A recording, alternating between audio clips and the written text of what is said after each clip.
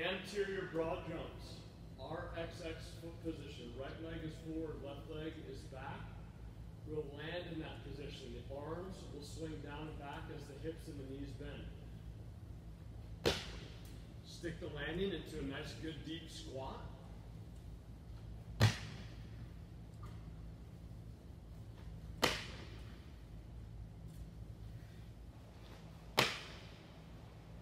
And an LXX on the way back, a posterior version. Left leg will be positioned forward.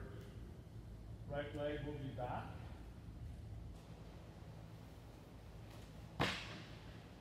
Stick a landing into a nice good deep squat position.